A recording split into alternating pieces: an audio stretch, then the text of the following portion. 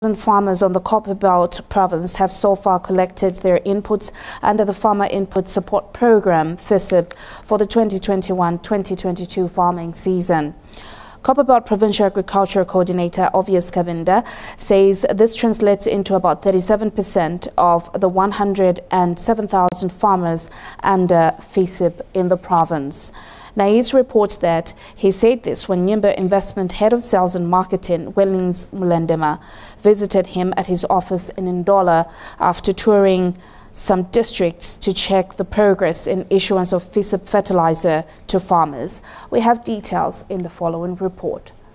mabala mukwaitwa aitampa okupekanya so fino tulelanda fino nebala limbina aitampa nokufika pakati tuli amukubyala finga twapoka fe fertilizer uyu mulunguni oni oni mumpanga Issuance of inputs to farmers on the Copperbelt province is on course.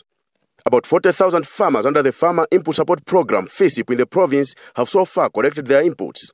As by yesterday, 17 hours, the whole province so far could say 37% corrected, but issued the authority to correct, we about 48 percent. Kai the issue, then maybe people collect today, the others will correct the following day. To me, the end of this month, we shall be done on the ground.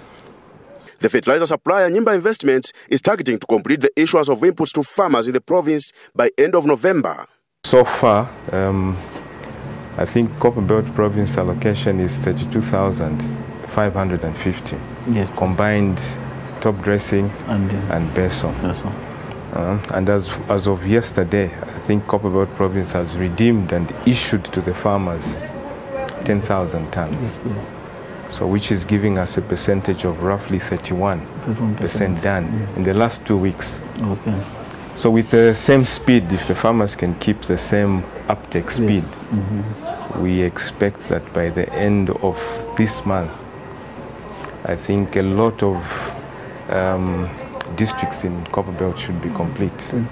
atwaleta ama ATC yale no baleko nkafye mpaka baletupera umufundo kuno nekimfulumfulu takuli awe kulingana nefyo aba bomfi balebomba balebomba mu busuma sana so tulefu okutotera sana aba bomfi tuletotera pena banyimba abatutira supply omufundo nekyakisha tuletotera ba government abatupera oyo mufundo To farmers in the province, the distribution of inputs is in good time for planting.